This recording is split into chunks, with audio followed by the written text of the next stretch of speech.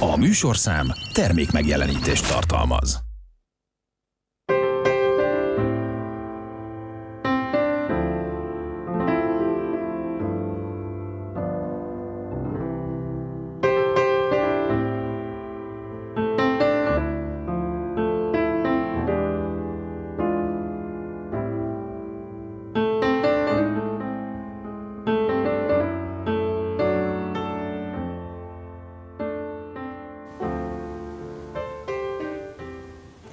Szép estét kívánok, köszöntöm a Fehérvári Beszélgetések nézőit. Az elmúlt héten a hagyományokhoz hűen megvolt a Vörösmarty Színházban az évadnyitó. Erről természetesen beszámoltunk, és a Paletta Kulturális Magazinban is lesz róla szó. Ugyanakkor fontos, hogy egy kicsit bővebben, ahogy ott is elhangzott, hiszen ez egy fontos esztendő a 2024-2025-ös évad, hiszen klasszikusok, kortársművek, végjátékok, tragédiák, musicalek, a Vörös Marti Színház új évadában, aztán lesz Pelikánfészek természetesen, és hát arról is kell, hogy beszéljünk, hogy folytatódik az a program, amelynek mentén az Atlantis program mentén, hogy bemutatkozhatnak a középiskolák, és így tovább. Egyébként most ez különleges volt abban az értelemben is, hogy a többi kulturális intézmény is elmondta, hogy mit szándékozik nekünk nyújtani a következő időszakban. A mi témánk természetesen a színházma, és vendégem Szikora János, a Vörös Marti Színház igazgatója. Tisztelettel köszöntelek. Én is tisztelettel köszöntöm a nézőket.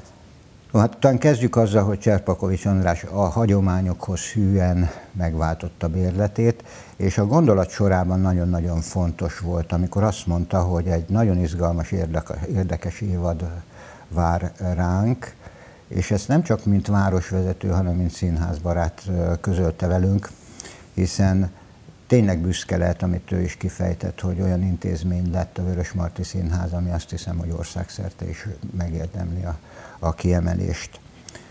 No, és talán akkor kezdjük a rendhagyóan a Diák Színházzal, mégpedig azért, mert az Atlantis program azt hiszem, hogy teli találat volt már akkor is, amikor elkezdődött ez az egész történet, és az idei esztendőben a Teddy Diák Színpad és a József Attila illetve a Ciszterci Szent István Gimnázium Fejér Holló diák színpada holt versenyben végzett az élen, és akkor jöhet most egy Rómeó, ami azt hiszem, hogy egészen különleges, hiszen a, a két rendező is, én azt mondom, hogy olyan elvet képvisel, ami, ami példaértékű az ő középiskolásaiknak. Igen, el kell, hogy mondjam, hogy amikor 12 évvel ezelőtt elindítottuk az Atlantis programot, akkor az első pillanatban éreztük azt, hogy jó, jó ez a rendezvény, de azért ebben sokkal több van. És magunk is tapasztaltuk évről évre, hogy tényleg sokkal több van, mert évről évre sokkal többen vettek rajta részt de nem csak a mennyiségi mutató az, ami számít, hanem ezen túl van még valami, amit igazából nem tudtunk megfogalmazni, csak éreztük, hogy valami lóg a levegőbe. És ami lógott a levegőbe évek óta, az most tulajdonképpen valósággá vált, és ennek a valóságnak nézői is lesznek, mégpedig a következő színházi évad bérletvásárlói, fiatal bérletvásárlói, mert az, asztal, az Atlantis programból most kinőtt valami, egy önálló előadás, noha az első pillanattól kezdve mindig jeleztük, hogy az Atlantis program az nem színházi előadás. Most mégis az lesz, belőle nő ki, ezekből a fiatalokból nő ki, az ő lelkesedésükből, fiatal kreatív fantáziájukból, köszönhetően a két vezető pedagógus tanár segítségének, közreműködésének, rendezésének, és így születik meg a mi Rómeónk, a mi Júliánk, egy olyan Rómeó és Júlia történet, amit a fehérvári diákok így fogalmaznak meg, és így mutatnak be nekünk, hogy hogyan, én se tudom. Kíváncsian várom őszintén szólva, de végtelenül lelkes vagyok, hogy egyáltalán eljutottunk idáig, hogy ez megvalósulhat, már csak azért is, mert szerintem az Atlantis programhoz hasonló megmozdulások vidéki városokban, színház és oktatási intézmények között ez létezik. Ilyen forma, ahogyan az Atlantis programban mi csináljuk, hogy fél éven keresztül diákok százai, tanárok sokasága és színész mentorok sokasága vesz részt egy közös munkában, hát ilyen nincs. De olyan sincs, hogy ebből aztán kinő egy önálló produkció, és abból meg színházbérlet lesz. Igen, hát Ferenci Noémi és Somos Zoltán sokat tett ezért. Csak egy közbevetés, hiszen most volt a, diák, most volt a színjátszó, amatőr színjátszó fesztivál Komlón, és Somos Zoliék, Somos Ákos rendezésében, és ő írta a darabot is, egy fantasztikus sikert értek el, a legjobb rendező, a legjobb előadás, a legjobb főszereplő díját, tehát őket is láthatjuk. Ugyanakkor akkor térjünk át arra, hiszen szívrepesve várjuk, mondom én, a nagy színpadon, illetve a kis színpadokon, hogy mi minden fog lesz. Kezdjük talán azokkal az előadásokkal, azzal a hárommal, amit te kínálsz nekünk. Hiszen az első az nagyon-nagyon fontos, Anibelunk lakópark Térei János. Igen, hát Térei János említésekor mindig kell egy kis kitérőt tennem, és ezt most is megteszem, hiszen Térei János személyében nem csak a kortás magyar irodalom egy jeles, rendkívül tehetséges képviselőjét vesztettük el néhány évvel ezelőtt, hanem egy lelkes, fehérvári színházrajongót is. Ugyanis Térei János, függetlenül attól, hogy debreceni lakos, és Debrecenben élt és dolgozott, de rendszeres látogatója volt a Fehérvári Színháznak, spontán lelkesedésből, tehát nem volt rajta a protokollistánkon, és mégis ott volt majdnem minden előadásunkon, nagyon szerette ezt a társulatot, nagyon szerette ezt a színházat, és ezt a, ezt a fajta vonzalmát honoráltuk tulajdonképpen, amikor ő volt az első név, aki eszünkbe jutott, amikor a Tragédia 2.0 négy kortás magyar író csapatának összeállításán gondolkodtunk, tehát a Térei János az nem volt kérdés. Hát persze a Térei. És akkor utána jöttek a többiek. Csak hát sajnos közbeszólt a sors. Úgyhogy most a 2024-25-ös színházi évadban, mint egy omázs a Térei János kerül bemutatásra ezen a színpadon.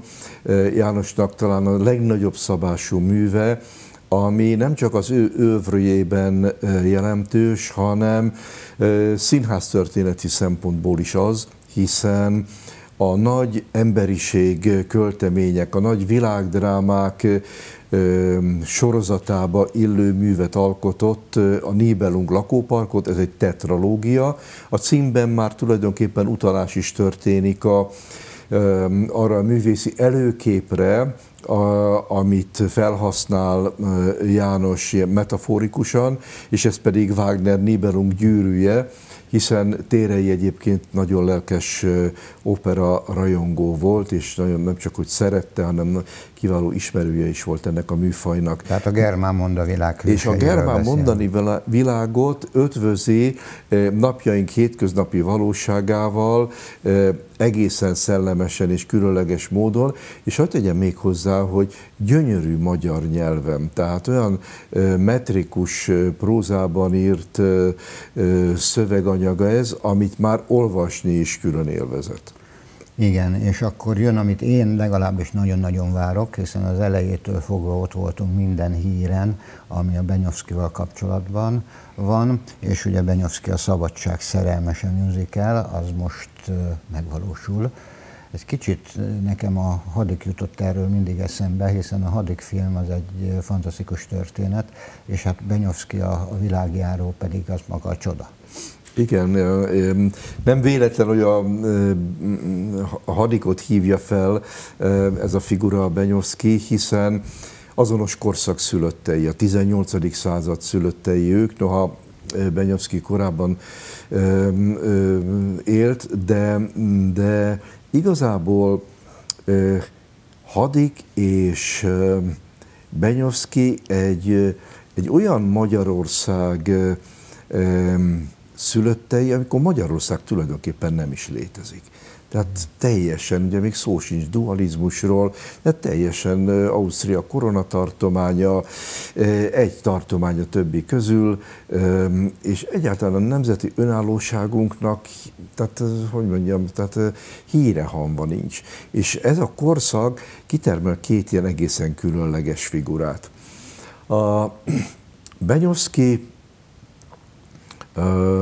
valóban a szabadság szerelmese, és ugye mikor válik valaki a szabadság megszállottjává és szerelmesévé, Hát nem amikor szabad, hanem amikor elnyomják. Mert akkor érzi igazán azt, hogy van valami, ami hiányzik az életben, és amiért küzdeni kell, küzdeni kell és küzdeni érdemes. Márpedig Benyovszkinak élete során a küzdelemből aztán kijutott alaposan, míg elvetődött Madagaszkárra, ahol királyá is választották, és aztán később pedig orgyilkosok megölték. Egy nagyévi, fantasztikus élettörténet az övé, tehát bele sem merek kezdeni, mert igazából csak csaponganék, de hát ritka az a korszak, ami, amely ilyen embereket terem. Hát a 18. század az ilyen volt. Igen, ott, és nagy formátum. Korán sem véletlen, hogy Jókai is őt választotta. Igen, tehát... És ez, ez fordítva is igaz. Így van. Egyébként csak hagyja, ajánljam a, a nézők figyelmébe, a, vagy legalábbis azok figyelmébe, akik Jókait szeretik, hogy Jókainak van egy hát talán mondhatom az alig ismert műve, pedig két kötetes, két szép díszkötetben adták ki, és eznek az a címe, hogy Benyovszki Mór élete, élete. Ez Benyovszki Mór angol nyelven megjelent naplója alapján készült, és hát egy ilyen anekdóta szintű, de azért ne, nem állom meg, hogy ne említsem meg, hogy hát az Jókai Mór például azért lett Mór, mert a szülei annyira tisztelték Benyovszki Móricot, hogy tiszteletük jeleként elhatározták, hogy az ő fiúk is Benyovszki Mórhoz hasonlóan a Mór keresztnevet fogja kapni, vagy a Móric keresztnevet fogja kapni. Hát így lett Jókai Mór Benyovszki Móric alapján. Ez a kétkötetes mű gyakorlatilag ma úgy fogalmaznánk, hogy dokumentumregény. És ezt a dokumentum regényt használták fel a musical alkotói arra, hogy egy kortárs, stilárisan talán a világzene fogalmával írhatnám legpontosabban körül azt a zenei világot, amit Nagy Tibor zeneszerző szerzett a musicalhez. Bradány Iván ugye a szövegíró, de a szövegíró. No, és akkor látogassunk el a Windsorba, hiszen Windsori védnök lesz, egy kis Shakespeare nekünk. Azt hiszem, hogy ez is nagy kihívás kihívás, és boldogan folytatom, mert kicsit úgy elszomorodtam, hogy még 2012-ben, amikor itt elkezdtünk dolgozni, ez az alkotó csapat, akik azóta is együtt vannak, azok meghirdettek egy Shakespeare programot. Tehát azt mondtuk, hogy nem újjon el színházi év a Fehérváron úgy, hogy Shakespeare-nek egy klasszikus műve ne kerüljön bemutatásra. Mm. És aztán tényleg, e, e, hát hogy mondjam, ugye azért a Lír királlyal kezdtük, és a Szent Iváni állam keresztül, de a Hamletet is említhetném, tehát fantasztikus, ilyen izgalmas Shakespeare előadások születtek, és ezt a Covid, mint sok más egyebet szétrombolta. Ez a törekvésünket. És most, amikor már igazából talán mostanra értünk oda, hogy egy kicsit úgy ugyanúgy normálisan kezdünk működni, mint az utolsó békeidőben. Én az utolsó békeidőnek hívom a Covid előtti időszakot. Tehát most jutottunk el 2019-et követően, hogy kb. úgy működjünk, mint négy-öt évvel ezelőtt.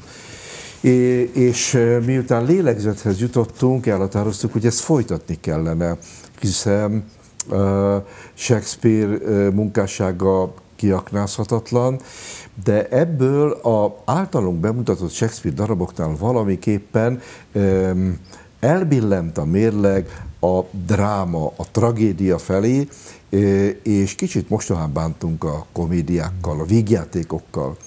Úgyhogy így esett a választás a Vincari Vignőkre, és remélem nem is okozunk majd vele csalódást. Várjuk. Mint ahogy várjuk, ugye három rendezőnk van jelen pillanatban, akik beálltak a sorba, Horváth Csaba, Bagó Bertalan és Telihai Péter, akit már ugye ismertünk. No de Horváth Csaba Úri Muri és Amerikai Elektra. Két olyan darab, ami azt hiszem, hogy méltán kelti fel a figyelmünket hiszen Móricz Zsigmond világ az Úri Muri, azt azért tudjuk, hogy egy egészen különleges világot ábrázol a maga sajátos stílusában. Igen, és itt egyrészt hagy utaljak arra, hogy megint a kezdeti időszakra Horváth Csaba a fehérvári közönségnek szintén egy Móricz adaptációval, a pillangóval mutatkozott be, és tegyük hozzá, hogy na, frenetikus sikert aratott. Ez részben köszönhető magának az alapanyagnak, a csodálatos Pillangó című regénynek, és köszönhető annak, hogy Horváth Csaba személyében egy olyan színházi stílus magyarországi mm, legjellegzetesebb figuráját, reprezentánsát tisztelhetjük, aki a fizikai színházat, mint olyat behozta a fogalomkészletünkbe, behozta a nézők tudatába, hogy a verbalitás mellett a színészek mozgása is mozgását is nyelvként használja, és ezzel valahogy Ugye a táncot most nagyon idézőjelbe is félve mondom ki, de hát jobb hiány, mégiscsak azt mondom, hogy tánc, de hát tánc, hát tánc, igen. Tehát egy különleges mozgáskultúra és a verbalitásnak egy különleges egyede, Nos, hogy ez mi is, igazából ezt igazából csak a horvát Csaba tudja. De ő csinálja a legjobban ebbe az országban, abban biztos vagyok. Ilyen volt a pillangó, és szerintem ilyen lesz az Úri Muri is. A, a, és egyébként én arra nagyon jól emlékszem, hogy a pillangó sikerén felbuzdulva Csaba rögtön jelentkezett a, az, az azt követő évadokban, hogy ő Móricot akar csinálni. Oké, okay, hát akkor csináljunk. És akkor el kell, hogy mondjam, hogy számtalan évad küszöbéig jutott el például a sárga rózsa. Igen. E, a, és aztán, aztán ez is megbicsaklott különböző okok miatt, ebből nem lett semmi. E, és azt tudom, hogy a Csaba régóta készül az Uri Murira, hát e, most majd megmutatja nekünk, hogy miért. Várjuk az amerikai elektrát, és hiszen egy antik tragédia az Elektra, de azért modern környezetbe helyezve biztos, hogy kicsit más lesz. Igen, ráadásul ugye Onél, amikor a, ezt a görög tragédiát amerikai millióbe helyezte, a, az tragédia ikonikus figuráit amerikai arhetipusokkal helyettesítette, akkor ugyan egy pontos és különleges látleletet adott kora Amerikájának magánéleti viszonyairól, de mégis azt kell, hogy mondjam, hogy ezekben a magánéleti konfliktus rendszerekben olyan éveket húzott meg, amelyek minden korban, korszakban és minden ország különböző kultúrájában, a magánéleti viszonyokban visszaköszön. Tehát ugyan amerikai Elektra görög sors tragédia előképpel, de mégis a magánélet sors tragédiájáról szól, végtelenül izgalmasan, és hát én vala, ugye nem szokták gyakran játszani. Nem szokták gyakran játszani azért, mert ezek nagy, hatalmas szerepek, Igazából ez csak nagyon kiforrott, nagyon erős társulat engedheti meg magának, hogy ebbe a vállalkozásba belefusson. Én ma már túlzás nélkül állíthatom, hogy a Fehérvári Színház ilyen, a Fehérvári Társulat ilyen kiforrott, érett, erős társulat, amely felnőtt az amerikai elektra szintjére, és biztos vagyok benne, hogy nagyszerű előadást is produkálnak majd. Bagó Berci pedig megtalálta Viripájevet, a kortárs orosz írót, és lesz a részegek, aminek egy csalfa ez a cím, hiszen nem erről szól az egész történet. Azt hiszem, hogy ez különleges annál is inkább, mert Dobri Dániellel, a kortárs művészeti vezetője, ugye a Lalberiga Szimfonikus Zenekarral beszéltem erről, és ő nagyon várja már, hiszen a zeneszerző szakos hallgatók a Zeneművészeti Egyetemről is bekapcsolódnak ebbe az előadásba. Igen, ez érdekes, hogy a kortárs orosz irodalomnak van egy vonulata, amely nagyon erősen kötődik a groteszkhez.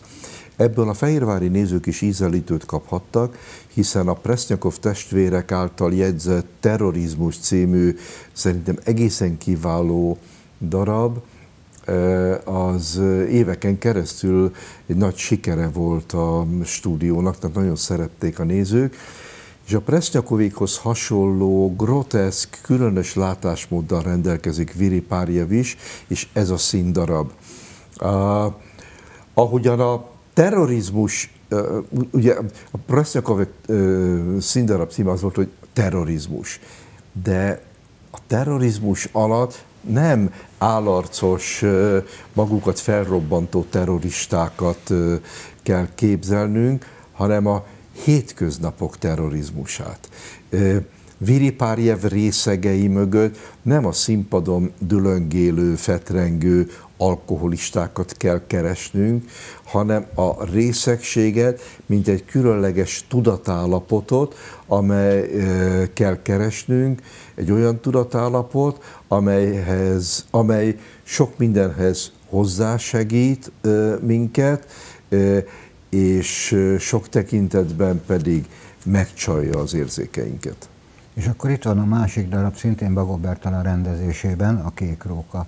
És itt kell, hogy szó essék Herceg Ferencről. Méltatlanul keveset beszélnek róla, holott azért tudni kell, hogy ő nem csak híres, hanem világhíres volt egyik oldalról, aki felejthetetlen drámákkal ajándékozott meg bennünket. Igen, ezt igazából nem is nagyon értjük, hogy Herceg Ferenc egy sztáríró volt, tehát a háború előtti eh, magyar irodalom sztárja volt, aztán a háború után egyszer csak tiltó listára került, noha még élt, már nagyon idősen ugyan, de nem, hogy a darabjait nem mutatták be, de a nevét sem volt szabad kiejteni, és igazából a rendszerváltást követő szellemi felszabadulás sem hozta meg azt a fajta áttörést Herceg Ferenc rehabilitációjában, amit ez az író megérdemelne. Tehát még mindig az a tapasztalatom, hogy igen, Herceg Ferenc nagyságát és értékeit már elismerik. Beszélnek is róla. De még mindig nem beszélnek hozzá méltó módon eleget, sem a munkásságáról, sem őt magáról, mintha a Herceg Ferenc még mindig ma is egy kicsit gyanús volna. Nem tudom az okát. Mindennek rendelt ideje van, most azt hiszem, hogy ez egy jó, mint ahogy az is nagyon jó, hogy visszatér a hegedűs a háztetőn, Telihai Péter már bizonyított a Fehérvári Színház barátoknak, hát most lehet, mert ugye egy klasszikus darabról van szó. És nem csak egy klasszikus darabról, hanem egy olyan klasszikus darabról, akinek él egy fantasztikus fehérvári előadás előképe. Ugye, tehát itt is volt utoljára egy fantasztikus hegedűs a háztetőn, és a színház szerető fehérvári nézők még élénken emlékeznek erre az előadásra. Hát ennek az előadásnak az emlékével is meg kell birkóznia, majd a Telihai Péter által jegyzett hegedűsnek. Érdeklődéssel várjuk. No, még annyi maradt nekünk, hogy az együttműködés. Nyilvánvaló, hogy ebbe már belekóstolhattunk, most azonban a, a Debreceni Csokonai Színházzal előadáscsere lesz, míg a Komáromi Színházzal pedig koprodukció. Ezek fontos történet. Igen, mind a két színházzal már régóta érlelődik, a hát Komárommal különösen, tehát Komár évek óta mondjuk, hogy miért nem fűzzük szorosabbra a kapcsolatot Komárommal, hát egy óra járásnyira van, 80 kilométer, és tényleg úgy beszélünk róla, mintha a világ másik végén lenne. Hát igen, mindegy kicsit néha olyan nehézkes.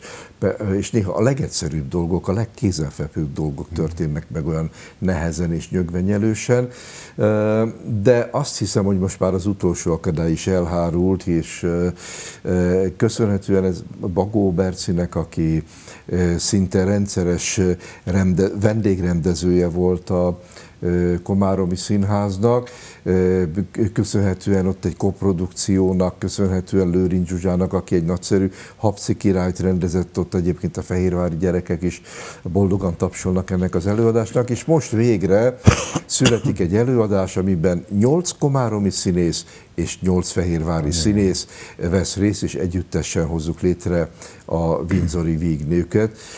És bízunk benne, hogy aztán ez példaértékű lesz, és ez még egy több évre előremutató együttműködést alapoz majd meg.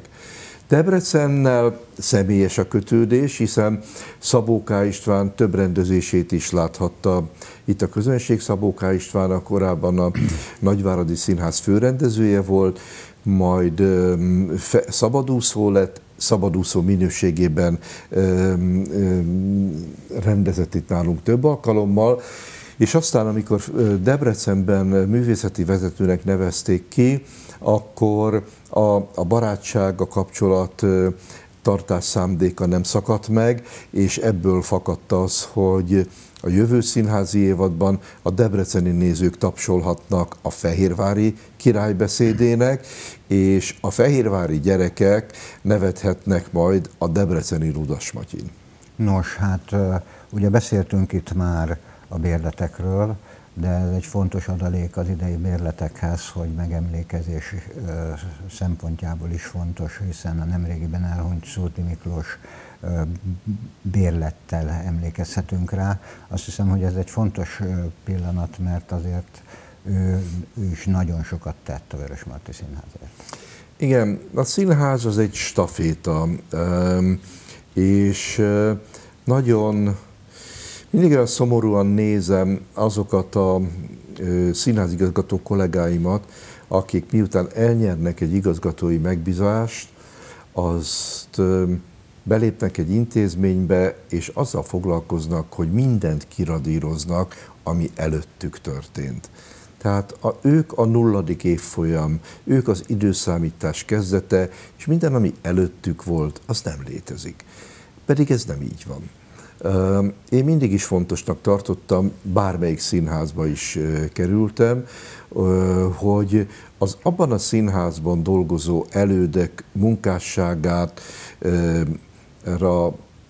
tisztelettel tekintsek, és emléküket megtartsam.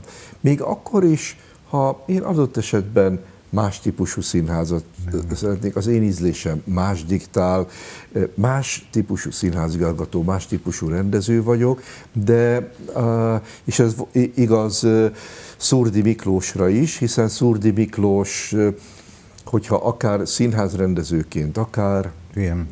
igen, házigazgatóként összehasonlítom, mi ég és föld. De ennek ellenére az, hogy majdnem tíz éven keresztül ennek a színháznak sikeres színházigazgatója volt, hogy itt olyan színházat csinált, amire évek múltán is emlékeznek, és jó szívvel emlékeznek, az azt jelenti, hogy ez az ember tudott valamit. És becsüljük meg az emlékét azzal, hogy legalább a neve megőrzi a az egyik bérletünket, ugye a nevét megőrzi az egyik bérletünk, és így adózunk tisztelettel az ő emlékének. Nincs kétségem felőle, hogy ez egy jó döntés, mint ahogy megnéztük most az évadot, jó döntések sorozata vár ránk. Én azt hiszem, hogy a, ha már nem kell még egyszer elmondanom, hogy vásároljanak bérletet, hiszen ez mindig így van, és bízunk benne, hogy nem lesz koronavírus járvány, nem lesz gazdasági válság, hiszen azért tudjuk, hogy ez nehézséget okoz, és nincs kétségem felőle, hogy teltházakkal megy valamennyi előadás. És köszönöm szépen, ehhez kívánok jó munkát. Köszönöm szépen. Hagyj tegyem, bocsáss meg igen. még hozzá, hogy a neheze most jön. Mert álmodni könnyű, de az álomból valóságot csinálni az nagyon nehéz. Amitről most mi beszélgetünk, mi most az álmainkról beszélgetünk. Igen. Az, hogy ebből az álomból valóság legyen, hát most jön a neheze. Jó, de nincs kétségem felőle, hogy ezt is megoldjátok, és mi pedig ott leszünk. Köszönöm szépen, hogy megtiszteltél. Én is köszönöm szépen. Kedves nézőink, Szikora János, a Vörösmarty Színház igazgatója volt a vendégem, témánk pedig a következő 2024-25-ös évad volt. Köszönöm megtisztelő figyelmüket, viszontlátásra!